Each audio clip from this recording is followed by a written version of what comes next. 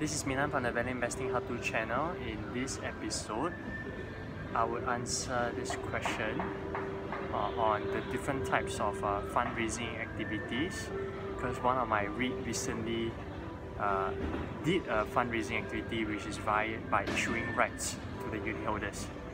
Okay, so primarily the fundamental activity of a fundraising activity is to raise funds such that the REIT manager can go and buy, can do something to it.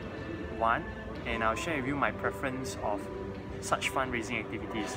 The first one, definitely it's always better to grow the REIT portfolio. Why? Because yeah, it will affect us as uh, unit holders since uh, if there's more property income, the distributions they receive goes up.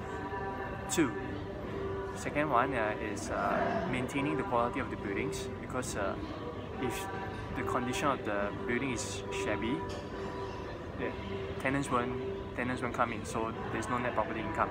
Okay, the last one in my preference is uh, reducing debt levels because uh, this gives me a signal that hey, uh, is the REIT manager what the capabilities of REIT manager how is it managing all its uh, expense uh, interest expense? Because every year every month they, they need to pay the interest expense on the borrowings needed.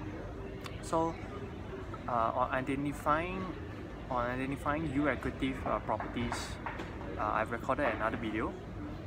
Uh, but just remember to finish watching this video and let us recap. So the first thing in my preference is to grow the REIT portfolio two to improve the quality of the buildings and the last one is to reduce the bank borrowings uh, so the next round when you receive a fundraising activity document from your REIT, uh, make sure you read it and that's what I want to share.